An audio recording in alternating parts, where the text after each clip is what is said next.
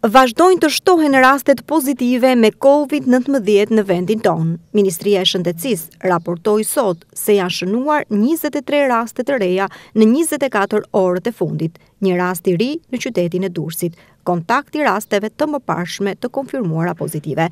E shtuna, që në qytetin bregdetar shënon sot tridhjetë e nëntë raste në total me Covid nëntëmbëdhjetë, ka kaluar e qetë dhe durrsakët zgjodhën të kalojnë ditën në sheshe dhe hapësirat e pakta publike. Qytetarët kanë lëvizur të qetë, ndërkohë që vihet re mungesa e mbajtjes së mjeteve mbrojtëse, por që nuk janë vënë re grumbullime qytetarësh. Nga ana tjetër, Policia e Shtetit bën me dije se nesër, të dielën e fundit të këtij muaji, Lëvizja dhe aktivitetet private nuk do të ndalohen, por do të ndalohet qarkullimi i automjeteve.